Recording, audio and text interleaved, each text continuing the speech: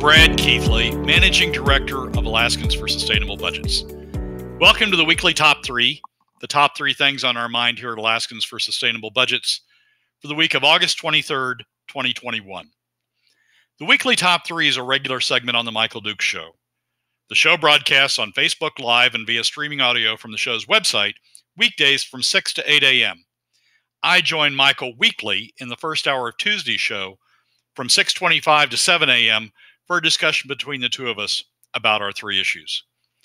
We post the podcast of our discussion following the show on the Alaskans for Sustainable Budgets Facebook, YouTube, SoundCloud, Spotify, and Substack pages.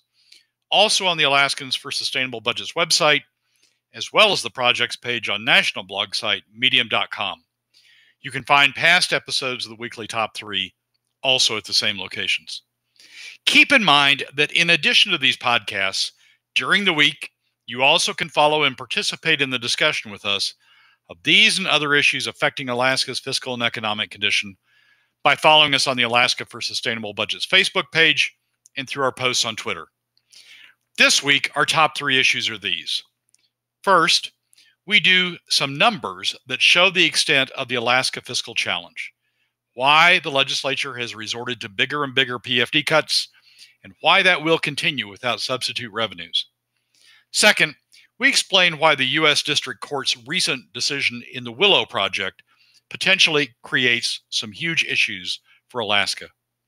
And third, we discuss some insight we gained into why some Democrats, who we would otherwise think would support the PFD, instead are pushing PFD cuts.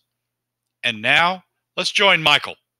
So, uh, Brad, eh, you know, lots of stuff going on in the state, lots of big news, lots of bad news. Uh, yesterday, we saw that the uh, we saw that the the House Finance Committee was uh, was uh, you know put was was was shut down and and canceled. Uh, and now we're hearing that the House committee is taking public testimony on the governor's bill today for the 50 50 PFD and WWAMI and APS scholarships and everything else. But there, I mean, there you could see kind of which way this is going. I, I don't think that you're going to have a friendly reception here. I know in your weekly top three, you've got some things to look at. And the first thing we're going to talk about is some numbers uh, to show the problems that we're actually facing, which I guess is, uh, you know, that's kind of important. It would be important to me if I was going over these things. What, what say you? Well, it, since we're sort of waiting on House Finance to uh, uh, to proceed forward uh, on uh, on what they think. Um, I, I decided to take another look, a different look uh, at uh, how the state's fiscal situation stacks up, um, and it's sort of enlightening to me. I the the the, the sources of revenue that are supporting state spending um, have, have always been, or for the last 10 years, have been uh, in flux. Uh, oil prices have declined, oil production has declined somewhat, um, and so the the contribution of of oil revenues to support the state has has been in decline. Uh, we've used for the last 10 years, we've used uh, uh, savings uh, to supplement that largely and in, in recent years, we've started using PFD cuts to supplement it further. The what I did was take a look at sources of revenue in the FY uh, 22 budget, the budget that the legislature is working on now, and I was sort of shocked um, when you look at it in terms of of traditional revenues. Uh, the PFD or the POMV draw, the draw from the, the permanent fund earnings, um, and the use of savings, and then the PFD PFD cut, how much the PFD cut is supporting uh, uh, the budget. Uh, the the percentages are, are are pretty amazing. So the budget's about 4.5 billion dollars. That's where they are now. Uh, traditional revenues are about 1.7 billion dollars plus or minus. That's about 37 percent uh, of the budget. So 30 percent of the budget is being supported by uh, uh, by traditional revenues. The POMV draw under current law, and, and remember, current law is that uh, the the the draw from the PFD is limited to five percent, and then out of that comes the PFD. That's what the law actually says. Uh, although uh, uh, several want to ignore it, but the PFD comes out of that, and then what's remaining after uh, from the in the POMV draw after after taking out the PFD is what the current statutes would provide goes to state government. That's about um, after after the, the after uh, the PFD, uh, the POMV draw that goes to government is about a half billion dollars. That's about 12 percent. Uh, they're using about um, ha- another half billion dollars, about 10 percent, uh, to from savings, a savings draw to support the budget this year. But the remainder, the biggest chunk of the revenues that are supporting uh, the budget, uh, the FY22 budget, are coming from PFD cuts. And PFD cuts constitute 40%, 40% uh, of the of the revenue support uh, behind uh, behind the FY22 budget. This problem's been building uh, over time. in FY19, the the PFD cuts were about 18 percent uh, of the uh, of the budget. That's the that's the last year of uh, the, the last Walker budget. The first Dunleavy budget, PFD cuts were about 17%. Last year, uh, PFD cuts were about 27%. So it's been building, but this year it's just taken you know a huge uh, uh, jump to you know PFD cuts being 40% 40% of the budget. So when when when you when you think about how the legislature is thinking about dealing with the budget if they don't have PFD cuts, they don't make the PFD cuts, and there aren't any substitute alternative revenues. If they don't make the PFD cuts, that's 40% of the budget. Uh, that's uh, that's all of a sudden uh, in a big gap, and we don't have savings to close that anymore. So they've they've we've gotten ourselves by not having by not cutting spending, and by not uh, uh, developing uh, alternative revenues, we, we've essentially gotten ourselves between a rock and a hard place. We don't right. have enough savings to, to fund the gap anymore. Uh, we don't have substitute revenues to to use uh, to fund the gap, and they're sitting there with uh, with forty percent of the budget now coming from PFD cuts. That's that's at an eleven hundred dollar PFD. If they try to if they try to increase the PFD, reduce the the amount of uh, of the PFD cuts, uh, that just that makes the problem bigger. I mean, you no longer are using 40%. You've got this, you've got a gap that you've got to fill somehow. So it's a, a that number to me, uh, as I say, uh, if you look over the last four years, the problem's been building, but the leap to PFD cuts uh, uh, being 40% explains, frankly, a lot to me in terms of in terms of what the what the legislature is facing. They don't really, they put themselves in a position where they don't really have any place else to go. Right. Uh, drain savings, uh, no substitute revenues, and uh, and and they're just gonna they they put themselves in a position where they have to rely on PF to fill the gap. Well, and and I mean, I'm going to disagree with you here just a little bit, where you said, you know, they, they it's it's been building over years, building over years. My God, Brad, it doubled in two years. I mean, the amount that the PFD draw uh, as a as a function of of revenues for government, it I mean, literally from 19 to 22 or 20 to 22, it jumped up from 17 percent to 40 percent. I mean, that's that's crazy. I mean, how you know what is going on with the size and scope of government that we can see these kind of things? And of course, we've seen traditional revenues drop and other things as well. But I mean, this is this is a mess, and and unless people are willing to address this. Um, I mean, and, and this is what they've been trying to avoid, I guess, is what I'm saying this whole time. They don't want to look at this. They don't want to look at the corner that they painted themselves into, and we're left holding the bag, so to speak. Yeah, it's. I mean, government from FY19. What's going on is um, is the a couple of things. One, traditional revenues haven't recovered uh, in the way that I think the Dunleavy administration hoped. Um, oil prices have gone up some, uh, but not enough to to to provide any meaningful addition to uh, to uh, tr- the traditional sources of revenues. And then, frankly, part of the part of the issue is the size of the PFD has grown.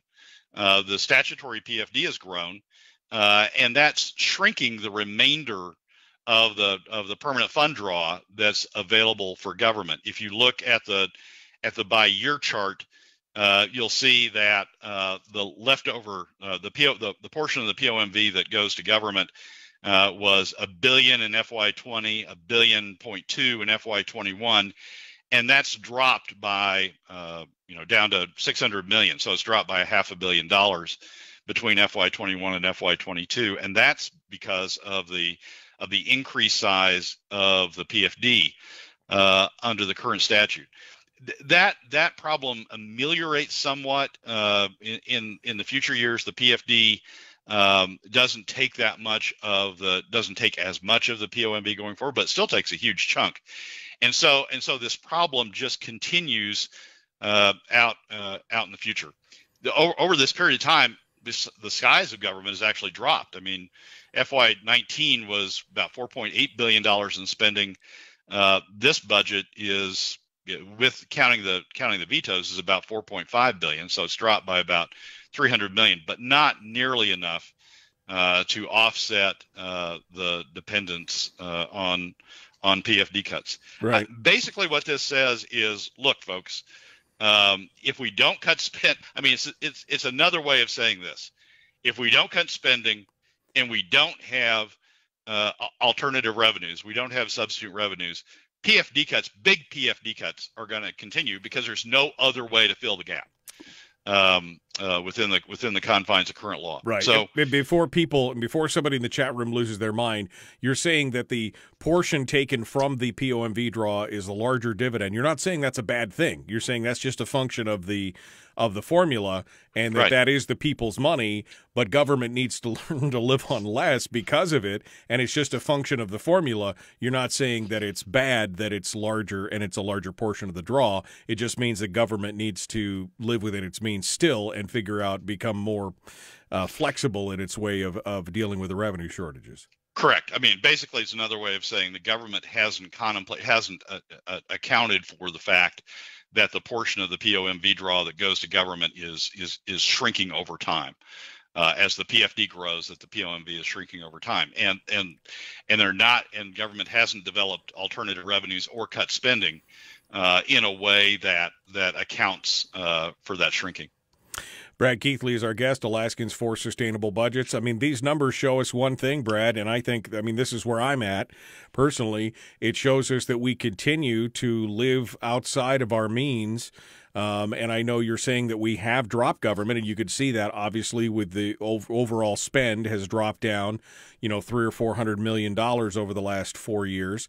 But the problem is, is that we're still not there yet. Yesterday, we had a discussion with Rob Myers, who talked about the size and growth of government since pre-oil. Since you know, we when we received that first royalty check in late '60s, you know, '69, uh, uh, we you know we were 142 million dollars a year in state spending. That was the entirety of the state budget. And if you adjusted that for inflation and population growth and everything else, we should be somewhere down in the 2 2.2 billion dollar range and we're at the 4 billion dollar range. So we're still spending more because the money was there or the programs were grown. Um, but again, where's the political will to actually solve this problem? Yeah, we, we, we've we've increased we've increased the size and scope of government. We've increased spending during the flush uh, oil years. But now that the flush oil years are behind us, we haven't we haven't we haven't ramped down uh, spending again, and we've created all these. I mean, Alaska is almost a case study uh, in what happens when you create constituencies by government spending. We've created all these constituencies. Right. I mean, we've seen it. We've seen it now in the last few weeks with the with the WWAMI students uh, the, the WWAMI medical uh, uh, students with the higher education funds, uh, with uh, uh, the PCE. We've created all of these constituents out constituencies out there that are tied to government spending that go berserk when you know when their spending is when their spending is threatened and say, oh, we can't we can't do that. We can't you know cut our spending because you know students would have to pay a higher tuition. Uh, the medical students would have to pay higher tuition. The the the rural areas would have to, you know, pay higher energy costs. Um, but we don't have the revenues anymore uh, to support that, and so right. we've had to go to taxes in terms of PFD cuts uh, uh, because that's what you know that's what the legislature's chosen to do.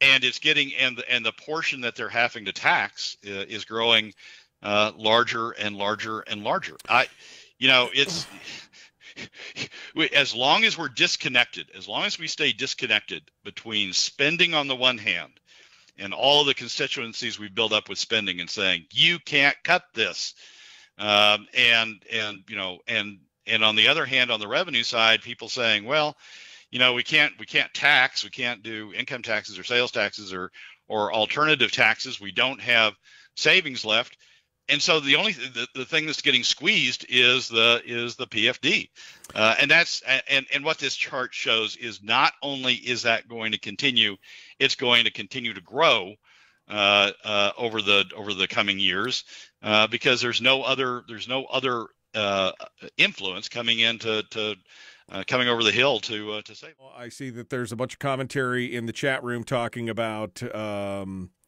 um, the oil and the, the, oil has been profitable. Conoco is buying up some of their own stock. They're being so profitable and everything else. But I'm sure Brad will address that in part with the Willow decision and everything else because uh, that's a big part of what Conoco's been doing as well to decide whether or not they're going to try and stay the course on that. Yes, uh, Alaska's been profitable for Conoco. Uh, the question is, uh, would uh, would Conoco continue to make investments in here if we made it less profitable? They have alternatives. We've talked about the Concho uh, acquisition in, uh, in in past shows and how that's given Conoco another place uh, another place to go. I mean, there's going to be issues with Willow. We'll, we'll we'll talk about it in the segment once we get back uh, back on the air. But there's going to be issues with Willow, and I don't think we should take it as a given that you know that we could you know tax double what we're doing for the oil industry now and still have uh, the investment uh, investment that, uh, that that we're going to have. As you and I have talked about, uh, or the investment that we want. As you and I have talked about, um, I th- I think there's room. Others think there's room. The Dunleavy administration has proposed a way uh, to increase taxes on the oil industry somewhat but but thinking that uh, that the industry is going to it would have to more than double uh, the contribution that it's making now uh, to the to the to the revenue stream thinking that the industry uh, is going to do that and not look at alternatives elsewhere, I think is uh, is wishful thinking. Well, and, and, I would agree with that. I mean, I think that I think that there still is some money on the table, but you can't uh, penalize one industry overall and lay it all at their feet. Uh, that there is money there. Uh, I think you and I have talked about, uh, you know, two, three hundred dollar, two hundred, two, three hundred million dollars that may still be on the table, but that's not going to fix the overall gap of what we're talking about um, uh, you know, in in total. Uh, there's there's a lot more to it than just uh, even if you, even if it was up to half a billion dollars, there's still a lot more to it than that. Absolutely. I mean, the PFD cut uh, in the FY21 budget or FY22 budget that we're looking at is 1.8 billion dollars. That's and then we're and then we're still drawing even with that we're still drawing a half a billion dollars from savings. So that's basically 2.3 billion dollars. Let's say and and and right now the the the traditional revenues produce about 1.6 billion dollars. So let's say we can up that uh, to two billion dollars, or let's say we can up that to 2.1 billion dollars. That still leaves uh, about a 1.7 1.8 billion dollar uh, revenue gap. We've just grown government. We've grown government uh, uh, way beyond our ability to finance it from the from the sources we've been using. Yep. Um, and and we're gonna we're gonna touch Alaskans in some way. The question is, what's the best way to uh, for them to contribute? Um, this is an interesting point. Willie just said. Um, uh, Brad just made the best argument in the world on why income tax won't work. There's no amount of money that's ever going to stop them or fix the budget. Income taxes will only grow to include the poorest. We need just a sales tax out there that can't keep growing without pissing everyone off in the state equally. Um, but I mean, I, I think that's always been my biggest fear, Brad. And when we talk about taxes, I have no problem talking about taxes. My biggest fear in instituting the tax is that the appetite for revenue is there no matter what. It, you know, you talked about as if it will offset certain components of it, but my, you know, it, to to them, I don't think it's an either or. It's an either and. They continue to want to grow, and once they see a little bit of that revenue come in, they'll just want to suck up more of the gravy in the room. And and I think that's always been my biggest fear. Well, I mean, so so the way that the the way we've talked about doing that is to constitutionalize the PFD so they can't come at the PFD anymore, and to and to have a spending cap and to and to constrain the growth of government that way. If, if we if we keep going down, I mean, if we don't have substitute revenue sources, if we keep going down the road we're going on, all that's going to happen is they're going to continue to take it out of the PFD. They're going to continue to to cut the PFD as a, they have to. There's no other place to go if you don't have substitute revenue sources. Um, they're going to continue to cut the PFD, and that and using the PFD has the largest adverse impact on Alaska families and on the overall Alaska economy. There are far better ways for the Alaska for Alaska families and for the and for the overall Alaska economy to raise revenue than PFD cuts. But if we don't have those substitutes, they're going to continue to use uh, uh, PFD cuts. So it's it's not it's not a question of can we get away from any revenues uh, uh, we've seen the lack of political will to cut spending. There will be revenues. The question is, what's the be- what's the lowest impact way uh, to have those revenues? And by far, PFD cuts are the highest impact, highest adverse impact way to do it. That leads us for a quick synopsis of number two before we go to break here.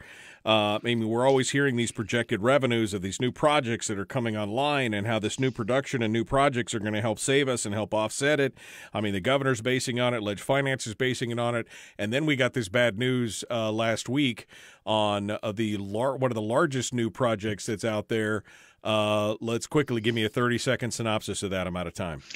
Well, we've talked a lot about Pikka over the last uh, uh, few uh, uh few shows.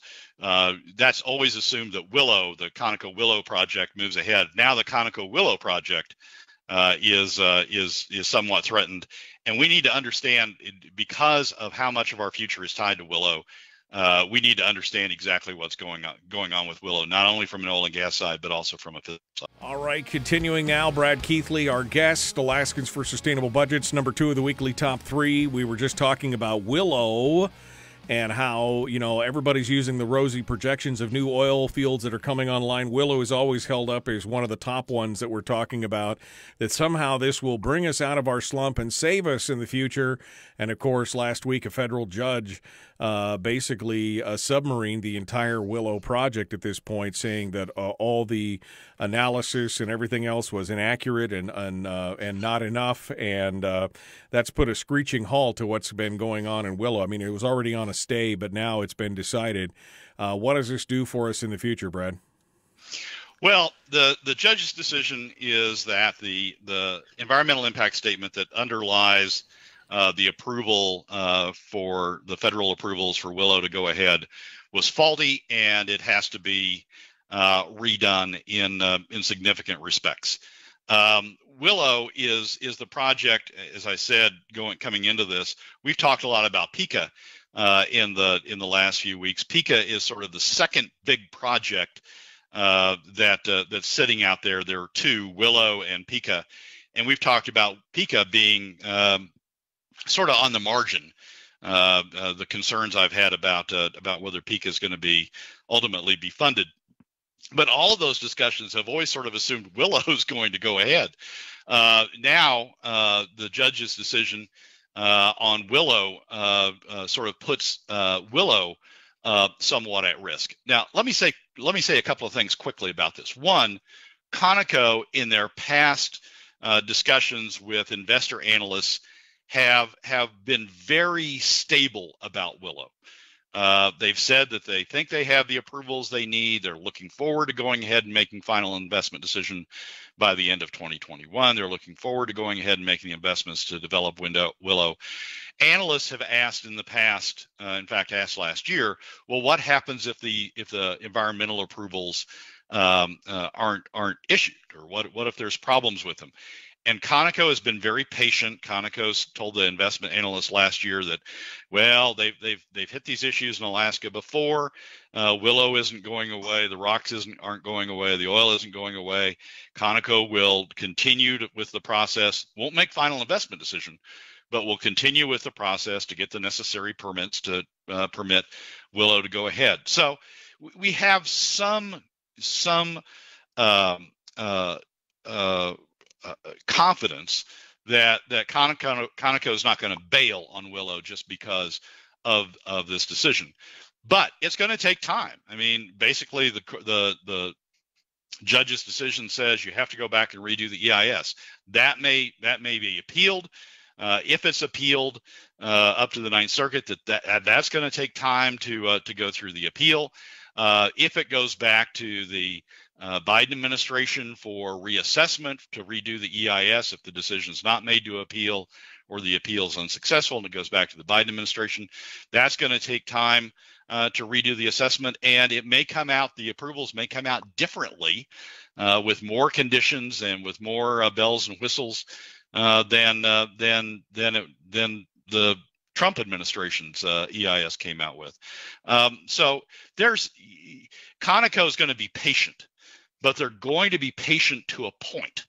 Uh, and and that point is when it looks like either the costs of Willow are going to go up significantly and make it less profitable than alternative investments elsewhere, or uh, it looks like uh, this is going to drag out for so long that Willow is in danger of being one of the stranded assets that we hear uh, a lot of discussion about as as oil demand declines over time. Uh, there's going to be oil projects that uh, that just don't get uh, just don't get funded, or or or if funded, don't don't have the economics because of because of, of, of the reduction in demand on oil. So um, there's, I mean, one of the comments that one of the environmental attorneys made in the in light of the district's court decision uh, was, uh, you know, we're we're just trying to stretch it out. We're we're trying to we're trying to you know lengthen the process until uh, Conoco realizes this isn't a project uh, that they ought to be uh, that they ought to be pursuing and and go pursue other projects elsewhere or invest their money in in windmills or in solar panels uh, someplace like BP's doing. Um, and and so you, you you've got to be concerned about stretching it out. And the and the court's decision uh, was so fundamental in terms of it wasn't just a, a nick here and a nick there. It basically said the, the underlying EIS was just faulty and had to be redone. And so the court's decision is is is sort of the the worst world that you, that you, can have on this sort of decision because you've got to go back and redo, uh, do a fairly uh, redo, complete redo uh, of the analysis. Willow uh, going forward uh, means a lot to Alaska in terms of jobs, uh, in terms of oil production, in terms of keeping production in in um, in in TAPS going forward. It is not as significant um, from a revenue standpoint as Pikka, for example, because Willow's on in NPRA and the royalty uh, due uh, from Willow goes to goes through the federal government and essentially is targeted. The state share is targeted to uh, to communities um, on the North Slope. It doesn't come into the general fund, but the production taxes uh, uh, are would would come to the state, and they'll come to the state uh, in significant quantities over time uh, if if this project would go forward. So it, it's it's meaningful from a from a financial standpoint standpoint. To this is meaningful from a job standpoint, meaning, meaningful from an investment standpoint, meaningful from a from a revenue standpoint out in the future. The other thing is, I think if Willow has problems and and and delays, that's just going to to multiply the problems with Pikka.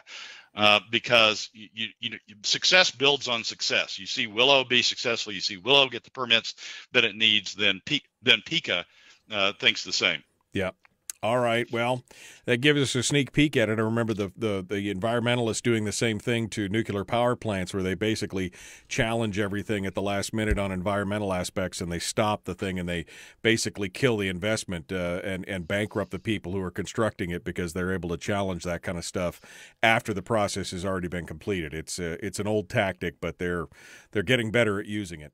Um, let's dive into the third discussion real quick here. Got a couple minutes. A panel discussion happened yesterday, giving us some insight into what the Democrats are trying to do and pushing for PFD cuts. Go.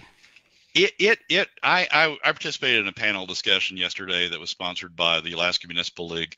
Um, and there'll be a public version of it that will come out. It was a webinar that will uh, that will ultimately be posted by the municipal league.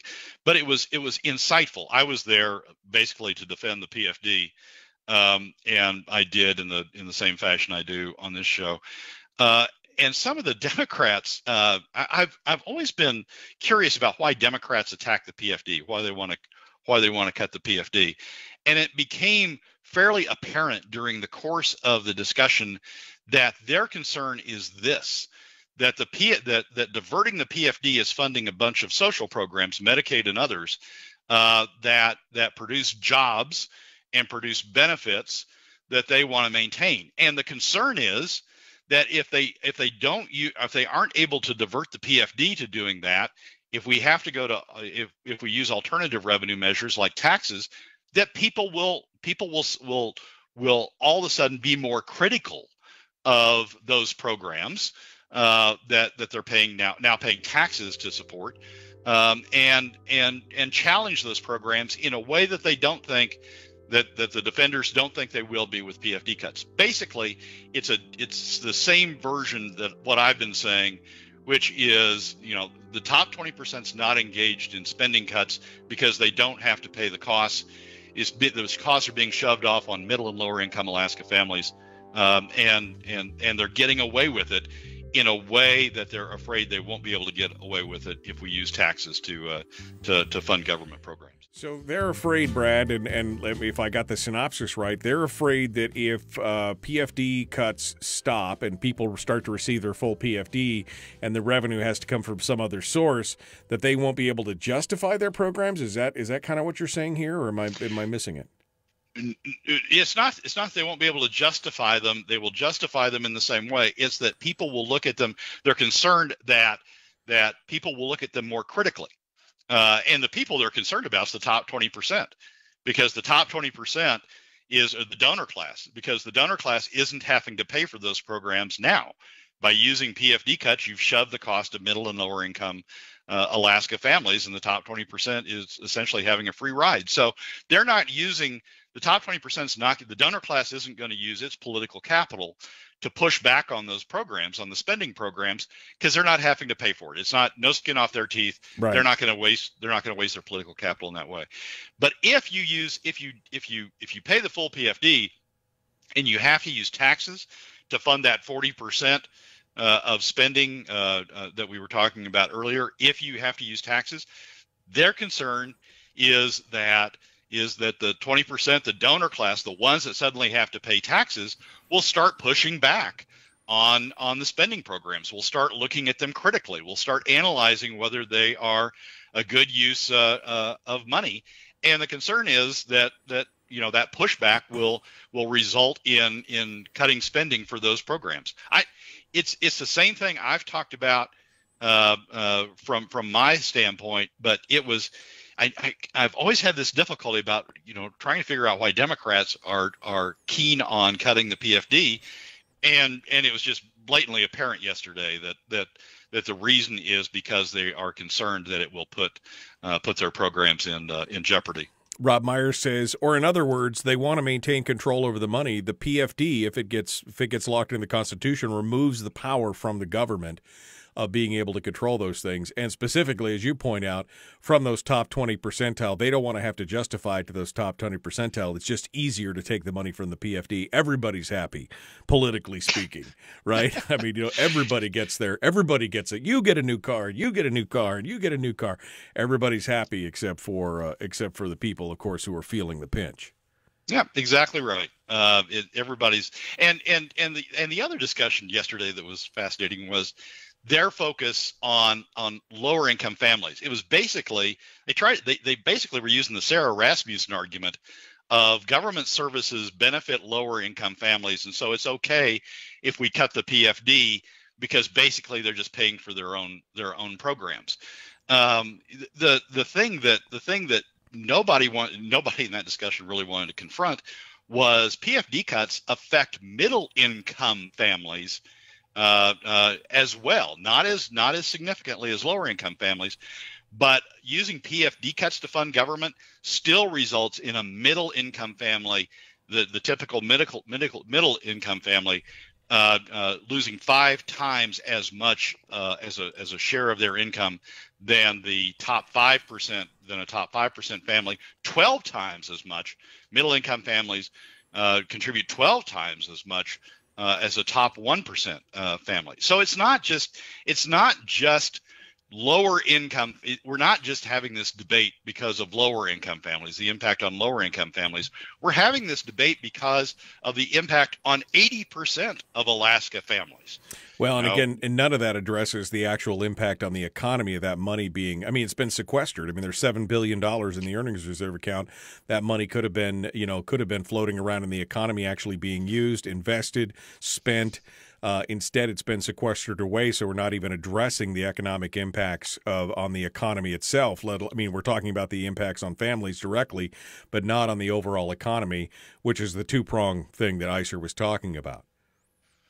Yep, exactly right. Um, it, it's, I mean, we're not talking about the impact on the on families, and we're not talking about the impact on the overall economy. Yeah, maybe next week we should have a discussion. I know that Barbara Haney put out a uh, a piece that I uh, saw this morning uh, in Must Read, talking about how uh, she's talking about how it shouldn't be an income tax and how distributional analysis should not play part of it uh, as well. And maybe uh, maybe you know maybe we should have a debate between the two of you and discuss it. It's silly to say distributional analysis don't doesn't have anything to do with with with how you with with how with with what fiscal structure you use. I mean, the very reason we're talking about PFD cuts, the the the, the problem with PFD cuts is because of the adverse impact they have on middle and lower income Alaska families and through them the overall Alaska economy.